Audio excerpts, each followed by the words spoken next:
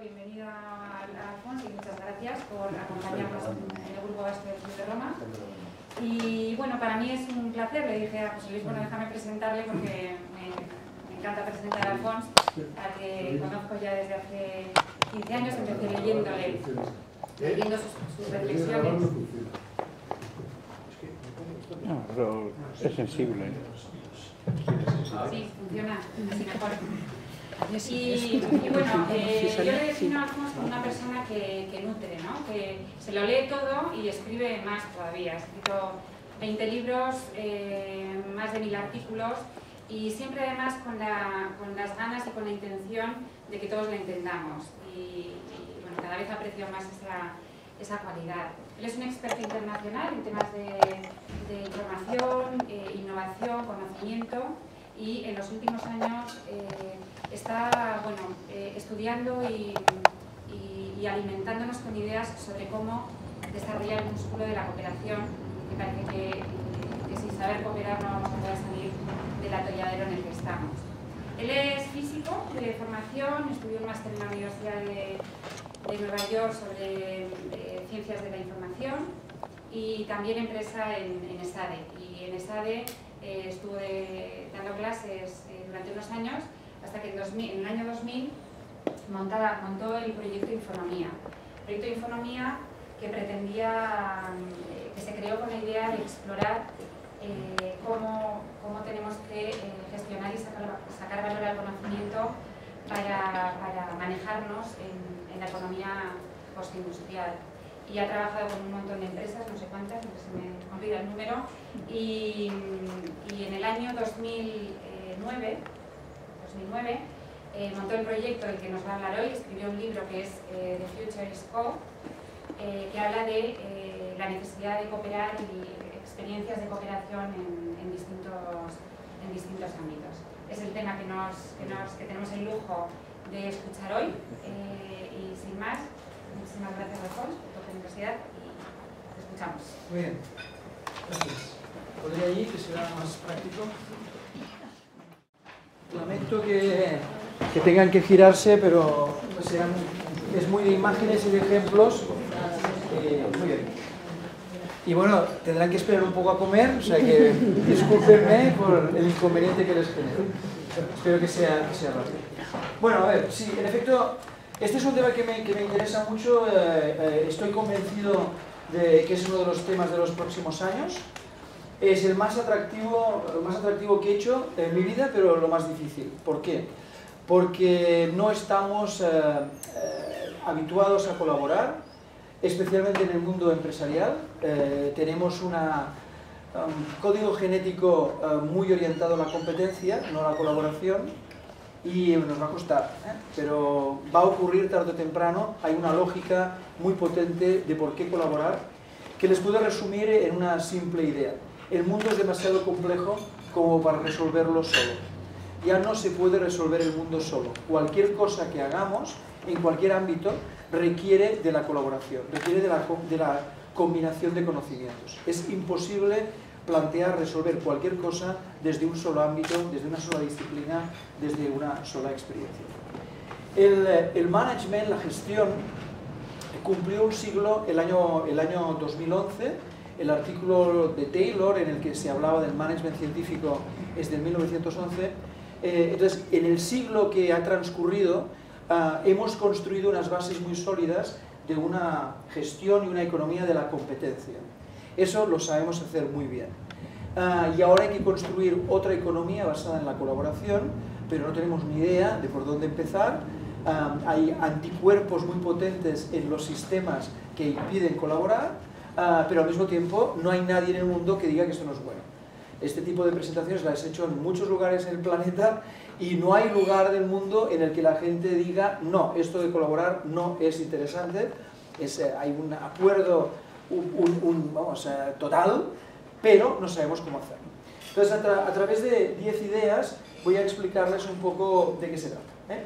De hecho, lo, escribí en este libro que se llama La solución empieza por co, está en inglés y castellano, y lo que voy a hacer es explicarles 10 grandes líneas de por qué la solución al momento, eh, no, no, no, la crisis puntual, concreta en la que estamos, eh, sino la solución al cambio de modelo económico-social viene desde la colaboración.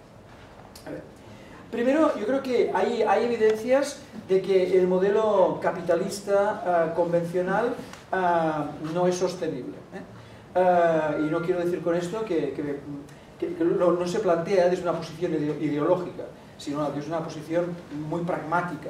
El modelo no funciona. ¿eh? Y lo que está ocurriendo es que están apareciendo muchos experimentos de otras formas de generar valor insólitas e imposibles hace unos años.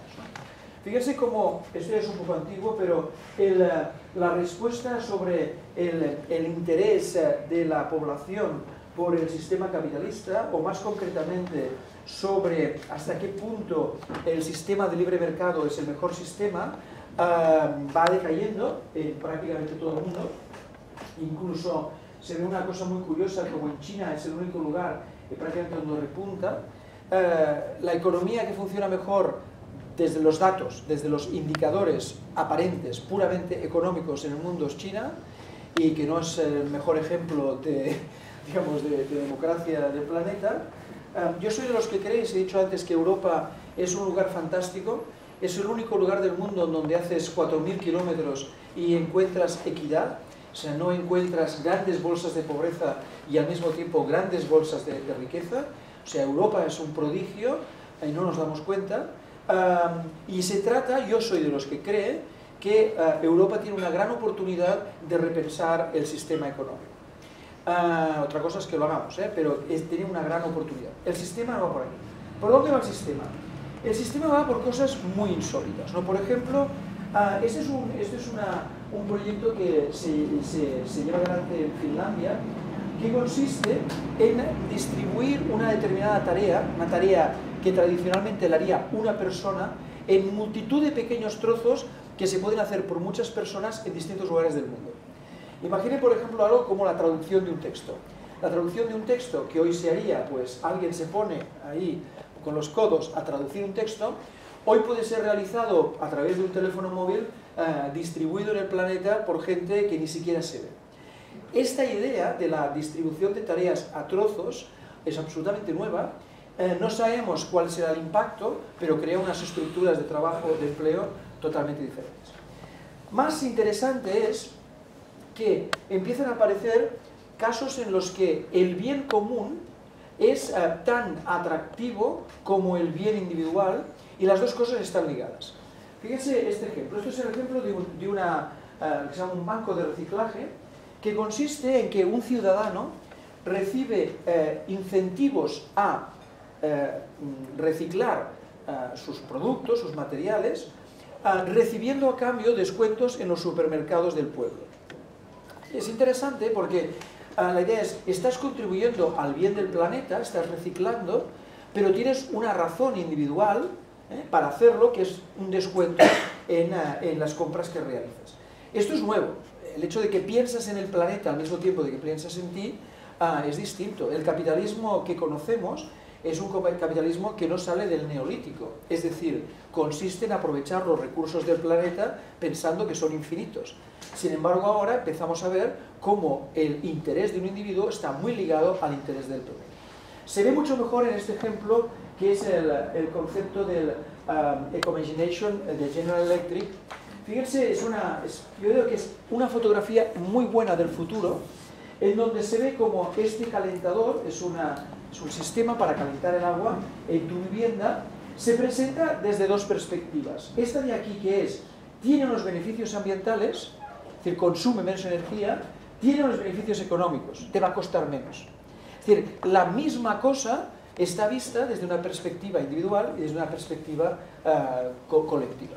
Es decir, me hago más competitivo a mí mismo porque tengo mejor uso de los recursos, pero al mismo tiempo estoy colaborando con el resto del planeta. Por tanto, hay una primera idea, soy inocente, hay una primera idea que es la idea de modelos uh, económicos no solo basados en el interés particular, sino cada vez más basados en el interés colectivo. Eso nos lleva a la idea de la colaboración. Entonces, la idea de la colaboración, como he dicho, es no hay nadie que diga que no, pero no tenemos ni idea de cómo hacerlo. De hecho, el primer problema es que eh, a pesar de, todas las redes eh, digitales que existen y a pesar de eh, la enorme capacidad y simplicidad en encontrar un contacto que hoy tenemos, cualquiera de nosotros si está en LinkedIn puede conocer a, a mucha gente a muy poca distancia, a muy pocos grados de separación, sigue siendo muy humano el que la confianza requiere una presencialidad. No es extraño, por ejemplo, que compañías como British Airways utilizan la idea de que lo digital está muy bien, pero lo presencial sigue siendo necesario. Fíjense que hay un proyecto que se llama Face to Face, en donde pues, estimulan el utilizar el avión para ver a otras personas físicamente. La idea de que la confianza digital es muy difícil de conseguir a un nivel profundo es uno de los grandes temas de momento. O sea, ¿cómo conseguimos establecer niveles de confianza desde lo digital que permitan colaborar eh, en cosas estructuralmente profundas.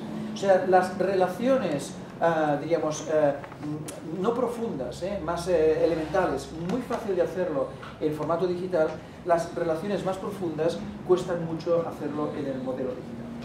Entonces no es extraño que haya muchas empresas que están en el mundo intentando corto. Tenemos un problema y es que yo creo que los micrófonos están descargados. Ah, y entonces funciona. da igual que lo tengas en la mano que no. Vamos a ver si nos lo cargan. Ah, vale. Porque no... Me oís igualmente. Sí, sí. Vale. Entonces, no es extraño que estén apareciendo en todo el mundo... Ahora sí, No, pero momentáneamente. Están apareciendo en el mundo muchas nuevas empresas que tienen por objetivo... Oh, crear...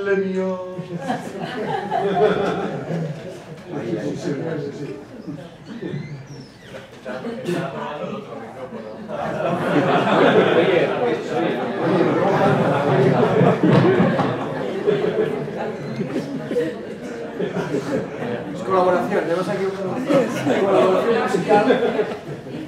Bueno, pues no es extraño que estén apareciendo en todo el mundo eh, empresas que quieren desarrollar metodologías de colaboración. parece muy evidente y muy trivial, pero no es nada fácil. ¿eh? Cómo crear instrumentos que hagan que las personas colaboren. Hay un artículo muy, eh, muy conocido de, la Harvard de hace un par o tres de años eh, que tenía por título Why Teams Don't Work. No era cómo hacer que los equipos funcionen, sino por qué los equipos no funcionan. Hay algo estructural en nosotros que hace que nos haga, sea difícil colaborar eh, de partida. Por tanto, hay que entrenarse, hay que aprender a colaborar.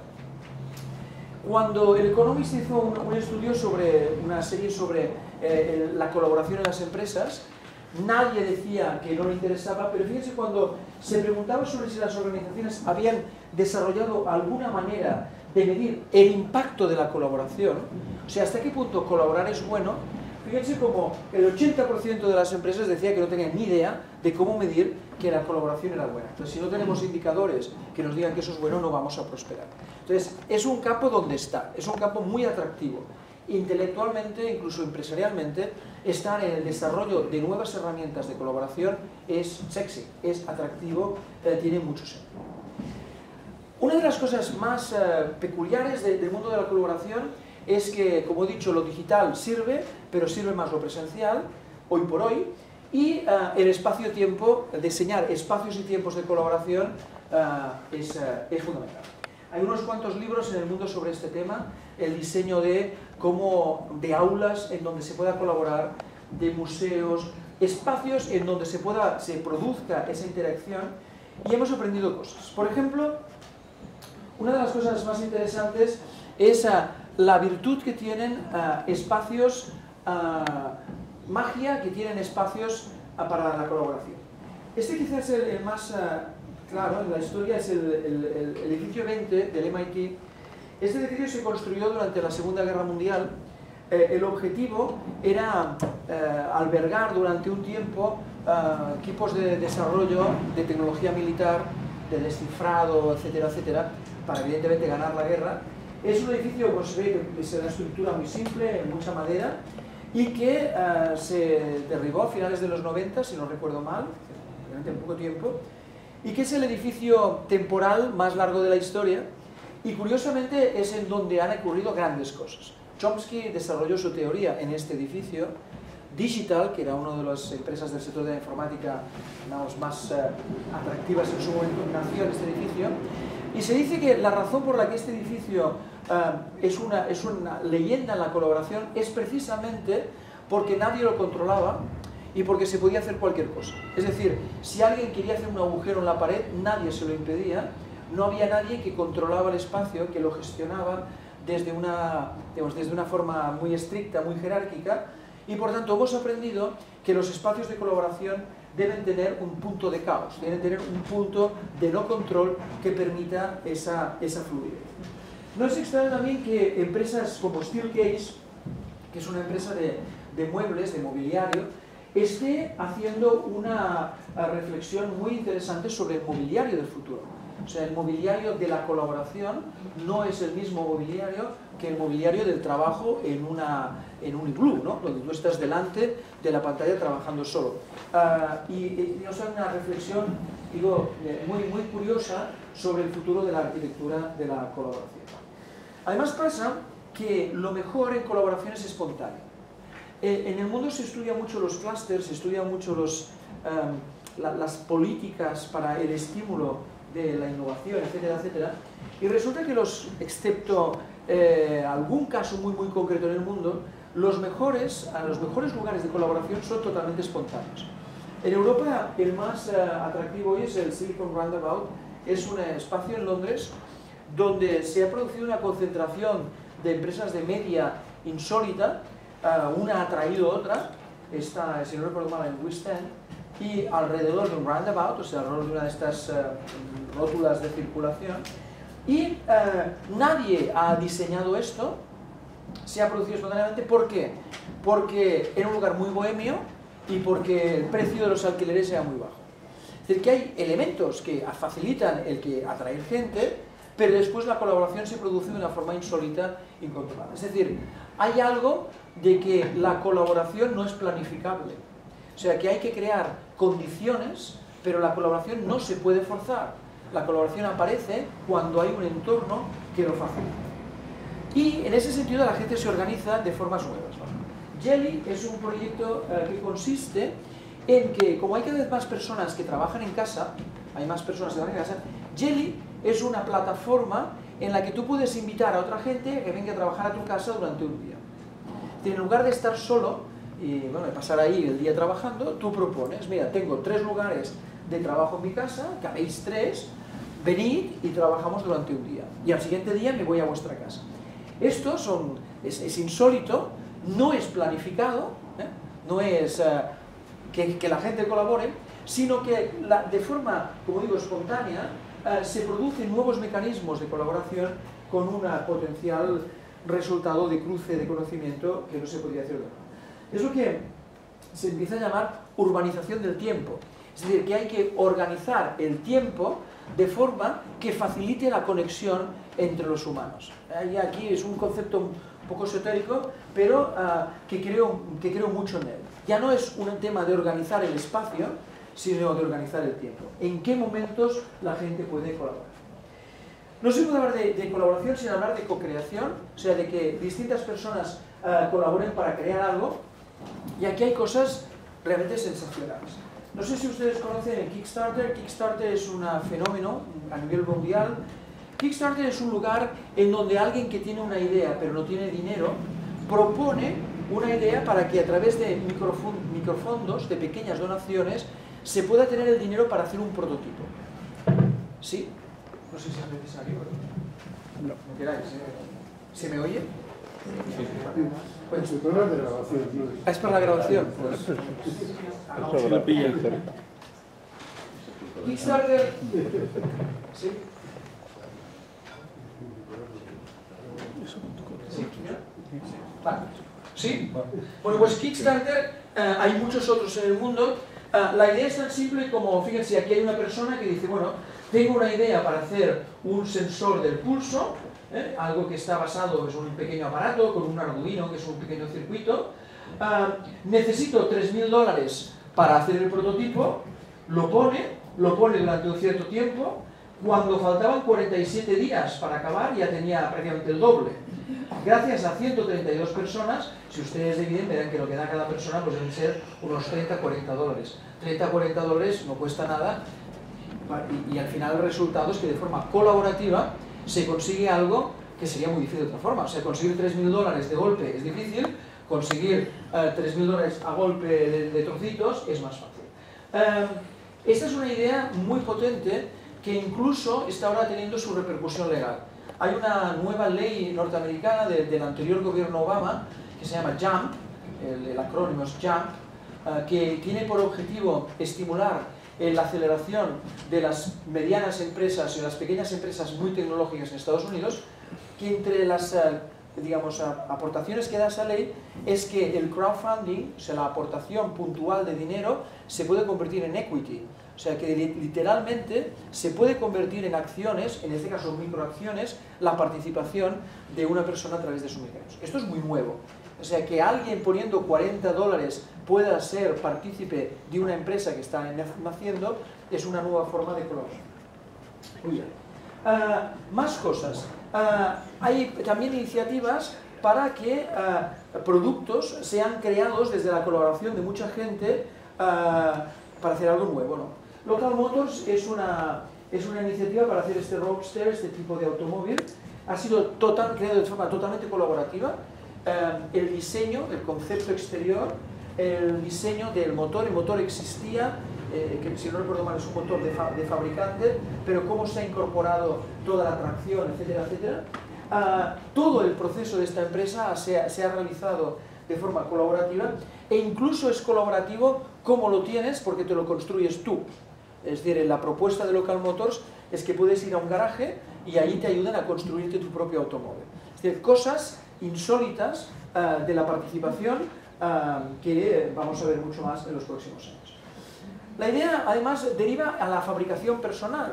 O sea, en el momento que tú tienes herramientas que permiten fabricar un producto a un coste competitivo, vamos, la, posibilidad de que todos nos convirtamos en fabricantes y todos nos convirtamos en diseñadores está muy cerca.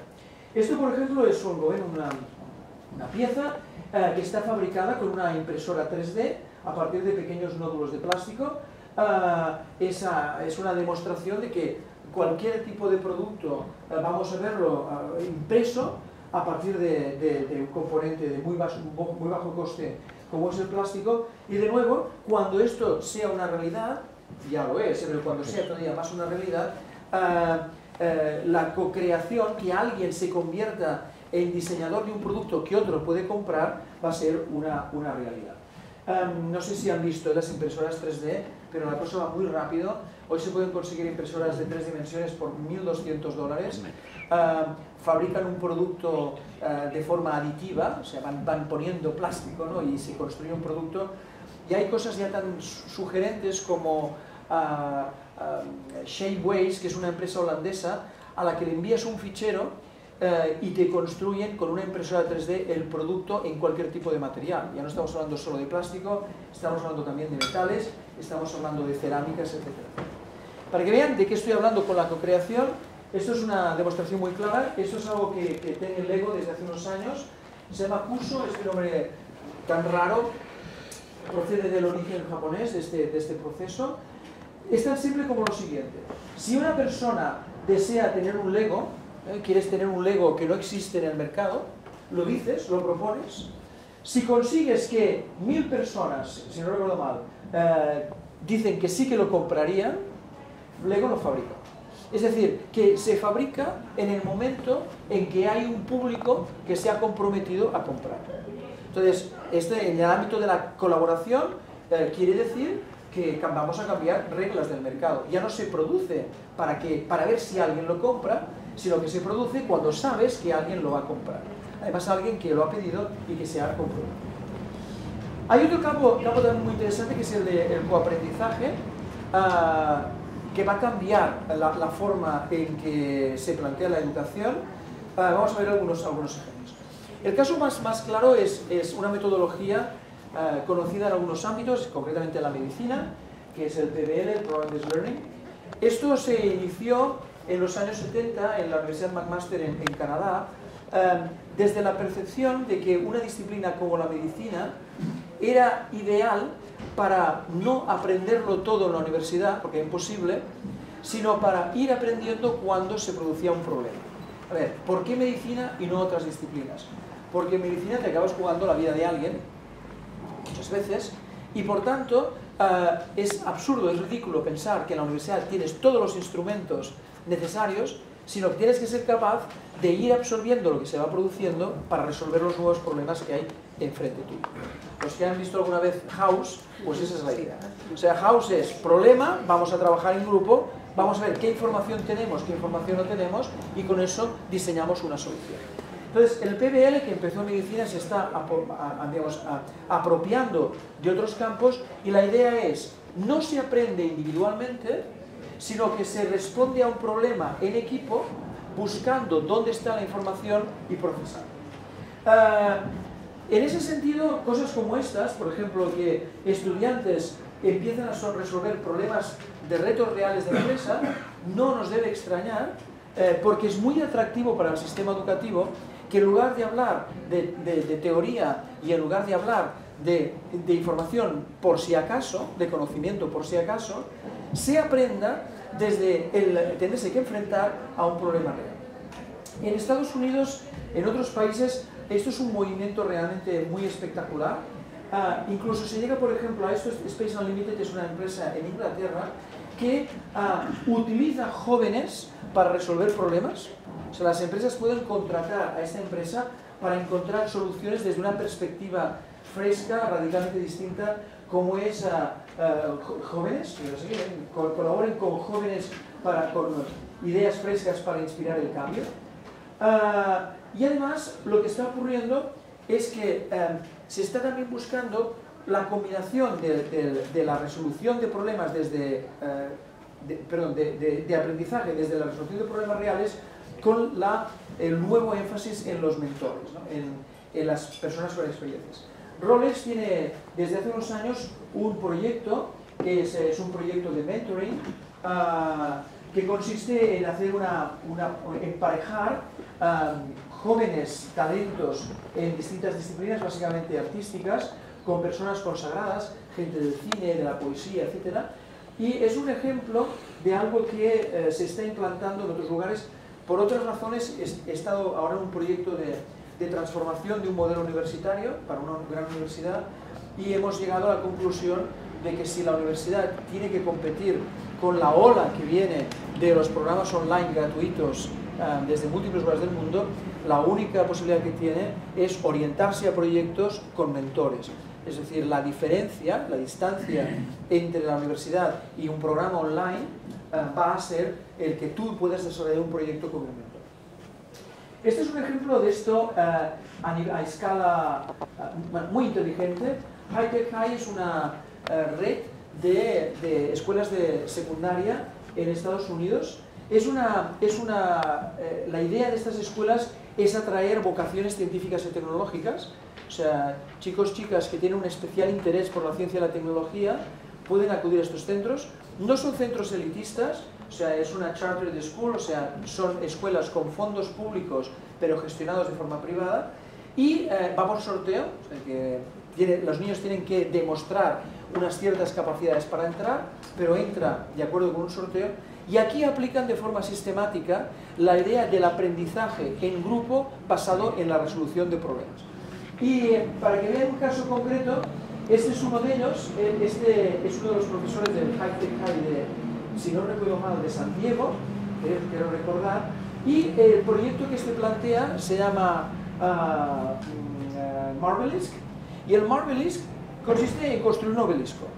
Entonces dirán, ¿qué cosa más peregrina? ¿Por qué dedicar unos meses en el colegio a construir un obelisco? Pero resulta que construir un obelisco no es fácil y ahí hay un montón de cosas. Hay química, ahí hay historia, ahí hay ingeniería, porque eso tiene que levantarse. Y eh, la idea de colaborar en grupo para conseguir un proyecto eh, está cambiando eh, las formas que tenemos de, de aprendizaje. Incluso se ve muy bien cómo el tipo de profesores que van a estas escuelas muchos de ellos son profesores que vienen de la iniciativa privada, han estado trabajando en una ingeniería o en una empresa de consultoría y vuelven a la educación porque tienen un interés eh, especial por transmitir conocimientos de otras maneras a los chicos y chicas. Hablar de colaboración quiere decir hablar también de redes y mercados. Eh, ¿Por qué? Porque creo que la lógica eh, que sigue a, los, a, los, a las redes, especialmente en Internet, son los mercados. Vamos a ver cuál es la idea. Fíjense qué cosas están pasando. Esto es un sistema de información en, Barcelona para conseguir la mejor información sobre el estado de los trenes. La mejor información sobre el estado de los trenes no lo tiene Renfe, ¿eh? sino que lo tiene la gente que está utilizando el tren en ese momento.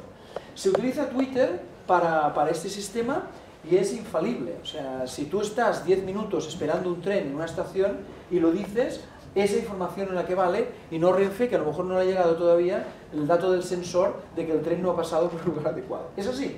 Es decir, que la gente se está organizando, colabora con herramientas muy simples como Twitter para informarse mutuamente del estado de la cuestión, de la situación.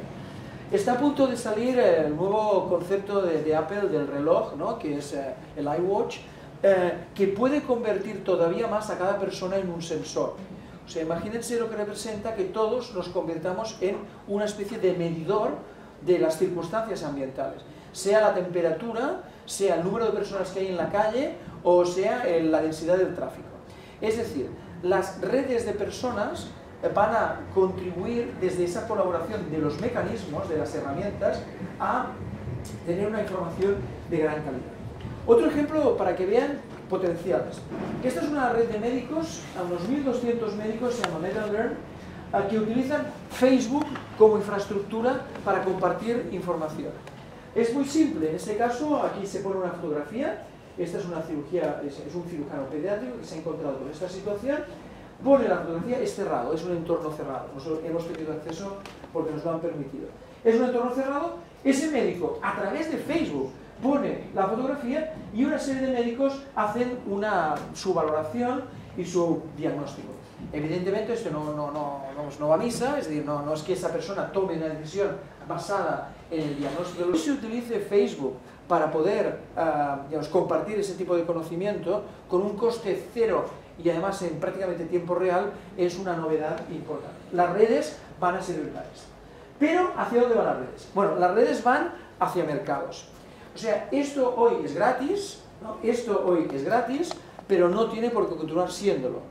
El gran problema es con qué pagamos y qué tipo de moneda nos inventamos. Y hay mucha gente que piensa que esta va a ser la gran revolución de los próximos 10 años, la aparición de una manera de pagarse... Esto no funciona, ¿verdad? No. Bueno, ah, la aparición de una forma de intercambio entre individuos que vaya más allá del dinero, un tipo de moneda de intercambio muy basada en el intercambio de capacidades en las redes sociales. Bueno, hoy lo que tenemos es cosas como estos. Square es, es un software, es un sistema que convierte un teléfono móvil en una caja registradora, es decir, en un terminal punto de venta. Esto quiere decir que yo literalmente salgo a la calle, pongo una mesa, me pongo a vender limonadas soy una tienda. O sea, me convierto en tienda con un teléfono móvil. Entonces, esto es muy impactante. Se utiliza mucho en, California ya. Pero quiero decir algo más. Quiero decir que, ¿por qué tiene que ser dinero? O sea, porque no eh, son unos puntos, algún tipo de mecanismo de intercambio que la gente puede utilizar. ¿Quién no dice que aquí yo, eh, digamos, participo en la red de médicos dando mucha información y eso me da algún tipo de valoración, de moneda, que yo puedo después intercambiar por otra cosa en otro lugar? Eh, es decir, el trueque en el mundo digital está muy incipiente y creemos que la lógica de, las redes es convertirse en mercados, en sistemas de intercambio. Fíjense uno con mucho éxito, que es Teaming, no sé si lo conocen, es una idea absolutamente brillante, de hecho ha sido propuesta para el, príncipe, para el premio Príncipe de Asturias de este año. Es el invento de un holandés que vive en España y que consiste en algo tan sencillo como que tú te comprometes a dar un euro de tu salario cada mes a una actividad, a una ONG. Bueno, esto a nivel individual es muy difícil de manejar, pero a nivel corporativo es más fácil. En estos momentos Teaming recoge 200.000 euros cada mes. ¿eh? 200.000 euros cada mes para actividades de ONGs simplemente a través de 200.000 personas que dan un euro cada mes. Entonces, ese es un tipo de mercado nuevo, es un tipo de iniciativa que genera recursos de manera muy capilar uh, con un potencial impacto, un, impacto tremendo. ¿Qué va a ocurrir, por tanto, en las redes? Ni idea, pero es muy posible que eh, lo que aparezca es un tipo de intercambio económico que no sabemos ni cómo será ni cómo se fiscalizará.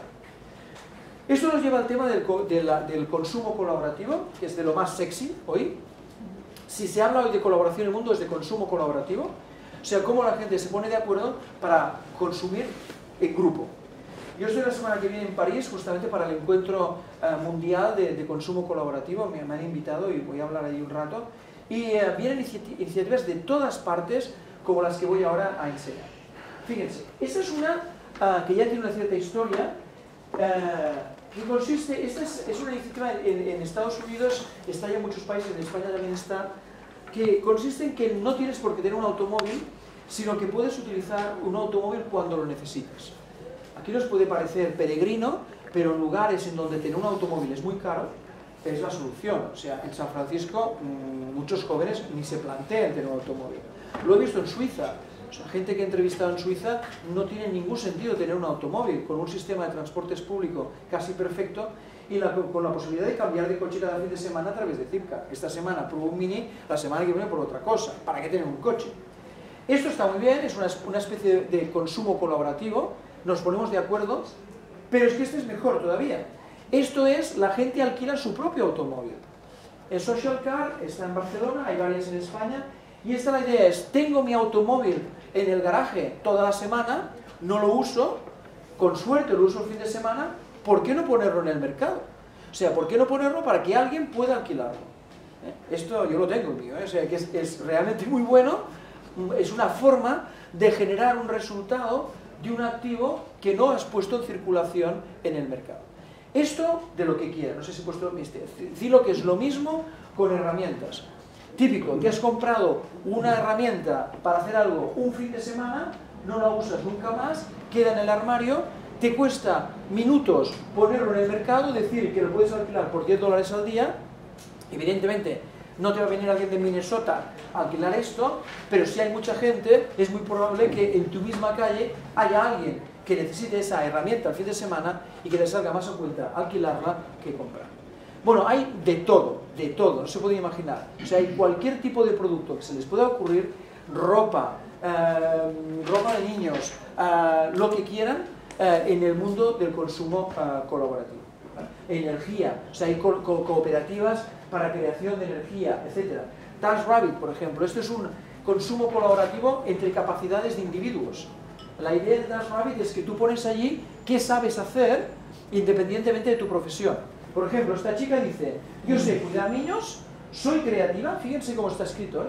sé cuidar niños, soy creativa, hago de todo, uh, llevo cosas, sé hacer fotografías y sé comprar. Entonces, esta persona se pone en el mercado con unas capacidades Aquí no se pone soy ingeniero aeronáutico, sino sé comprar.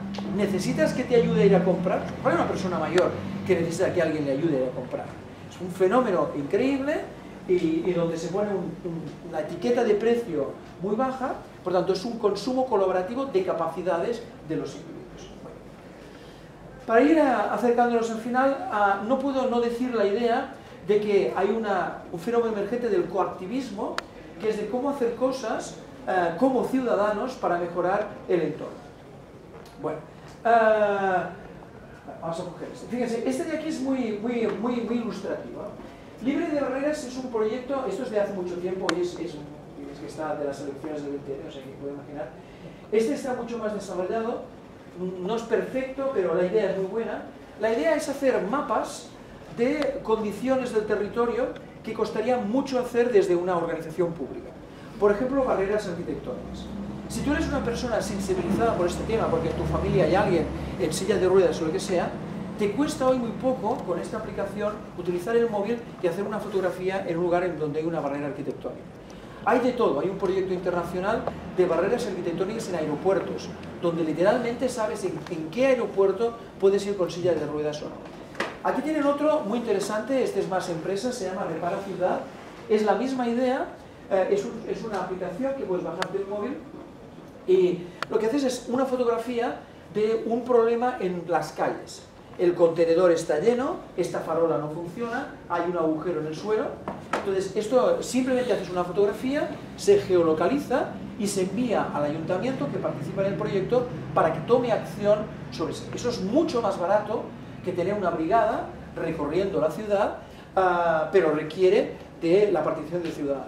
Pero esta empresa ha tenido alguna relación y lo primero que les comenté es lo que es urgente es que inventéis una forma de, re- re- de recono- de reconocimiento, o sea, cómo reconoces al buen ciudadano que ha tenido esa confianza. Pero hay de todo. Hace, si no recuerdo mal, hace dos o tres años, en, ¿eh? en, en Portugal se lanzó una campaña que consistió en movilizar a la población para ir a, para limpiar los bosques de Portugal. Fue impresionante, se movilizaron más de 100.000 personas. 100.000 personas se presentaron como voluntarios digitalmente a esta historia. La realidad después fue otra porque fue un fin de semana que llovió mucho y no pudieron hacer lo que querían hacer, pero que 100.000 personas con un coste muy bajo se presenten como voluntarios para limpiar los bosques, ah, quiere decir que tenemos un potencial enorme de, eh, de movilizar a, a los ciudadanos de forma, de forma activa. Y bueno, qué decir de todo el tema político que está, digamos, emergiendo y que veremos hacia dónde va, pero que es evidente que hay que reinventar la política. Sin que les... eh, sin que, vamos, sin que cree un precedente, voy a comentar una cosa que es muy polémica ahora y que nos permite pensar eh, cosas que van a cambiar en la política. Hay una propuesta de, un conjunto de profesores universitarios en Estados Unidos de ah, no hacer elecciones. Entonces, eh, ¿qué quiere decir eso? Entonces, el sistema es muy interesante, la idea es que han demostrado, demostrado que con una muestra suficientemente bien escogida, el resultado es el mismo. Es decir, que si tú coges estadísticamente una muestra de la población adecuada, ah, encriptada, o sea que nadie sepa, quiénes son, el resultado es el mismo. Lo han hecho en las últimas elecciones. Entonces, eso, imagínense qué cambio representa. Eh, no tiene sentido una campaña política, es mucho más barato ah, y es no manipulable. O sea, porque ¿cómo vas a manipular- a alguien que no sabes de quién es? ¿no? Quiero decir que el tipo de cosas que vamos a ver en los próximos años es muy disruptivo. Esta, esta idea hoy choca contra, vamos, a 100 años ¿no? de historia de un modelo de participación que seguramente no funciona ah, y que hay que reinventar desde la base. Entonces, sin, sin alarmar, eh, este tipo de cosas los vamos a ver. Y termino con la idea de los negocios. ¿Qué ocurre en los negocios? Pues en los negocios está ocurriendo que las empresas están colaborando para conseguir cosas. Ah, voy a poner este ejemplo que es el más claro. Bueno, ¿qué está ocurriendo? Pues que alguien como Coca-Cola, que se dedica a hacer refrescos, se acerca a alguien que hace una silla. Esto en mundo convencional, mm, resultado cero, o sea, que- que sale de unir una botella con una Coca-Cola. Eh, el, el mundo del siglo XX eh, no entiende esto, o sea, son dos códigos genéticos que no se cruzan, pero el mundo del siglo XXI es que de esto sale pues, una silla de plástico hecha con botellas recicladas. Entonces, que alguien muy conocido como Coca-Cola y alguien muy conocido como Imeco, que es el fabricante de estas sillas, se pongan de acuerdo y pongan su marca junta, juntas para desarrollar un producto, es, ah, lo que está ocurriendo. Eh, tenemos decenas, decenas de ejemplos en el mundo que demuestran esto. Este es un ejemplo de, más sofisticado de colaboración. Fíjense, eh, el proyecto You Promise es un proyecto en donde participan bancos, tiendas, ah, redes sociales y el objetivo consiste en que mientras tú vas consumiendo, si consumes en una red determinada de tiendas, se produce un ahorro, tienes un ahorro, que en lugar de poderlo ejecutar inmediatamente, queda en una cuenta para que tus hijos puedan ir a la universidad. Entonces, la idea de, llevar al futuro la educación de tus hijos desde el ahorro actu- actual es muy interesante, pero solo se puede hacer desde la colaboración de múltiples agentes, en este caso, como digo, tiendas, bancos, etc. Muy bien, y termino con un ejemplo drástico, que es el proyecto en, en Dinamarca, que es un proyecto, es un parque simbiótico, en donde el residuo de una empresa se utiliza como input de la siguiente. O sea, imagínense que una empresa es una empresa de muebles, que el resultado son virutas de madera, las virutas de madera son digeridas para que el siguiente utilice, pues, yo sé, metano para poder eh, funcionar como, como eh, desde el punto de vista energético. Es decir, es un tipo de colaboración empresarial no ya basado en productos, sino eh, fundamentado sobre la simbiosis. Y termino diciendo que mm, esto que, que, que, he mostrado solo desde, desde la evidencia de unos casos, es algo que hemos hecho desde hace, desde hace dos años uh, y que tiene por objetivo estimular las intersecciones sistemáticas entre empresas. Bueno, en estos momentos hay más de 40 empresas que participan en esto. Lo estamos presentando en otros países y, espero que la cosa prospere. En Dinamarca ya lo estamos haciendo sistemáticamente.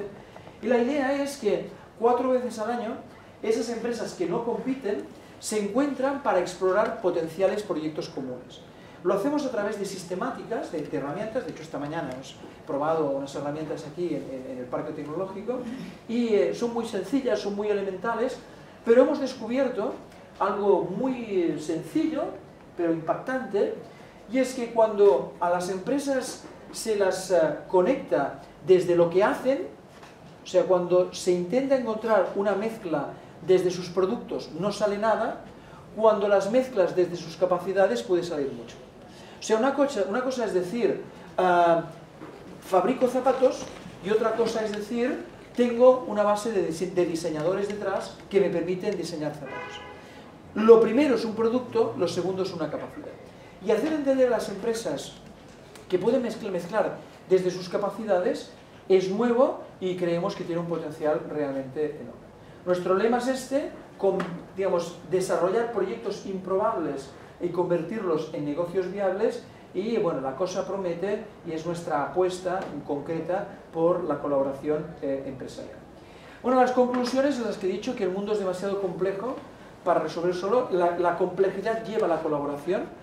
Yo no soy biólogo, pero eh, seguramente alguno de la sala que sabe más que yo, eh, saben que en estos momentos, eh, cuando se habla de teoría de la evolución, ya no se habla solo de la selección natural, sino de la colaboración. O sea, se cree que con la ley de la selección natural, es decir, que el que se, se adapta mejor eh, es el que prospera, no es suficiente para, explorar, para explicar lo que ha ocurrido en el planeta, sino que se necesita una segunda ley que es, pero solo los que colaboran consiguen prosperar. O sea, se, los que se adaptan consiguen sobrevivir, pero solo prosperan los que colaboran.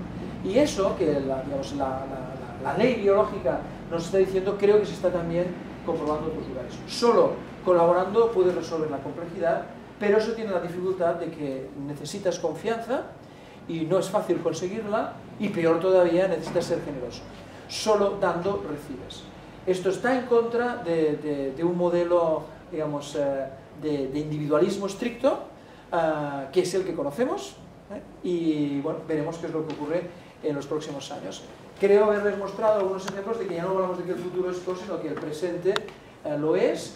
Yo creo firmemente en esto y como digo, hay mucha literatura, es uno de los campos donde se está escribiendo más, eh, muy atractivo intelectualmente y espero que también con impacto económico y social.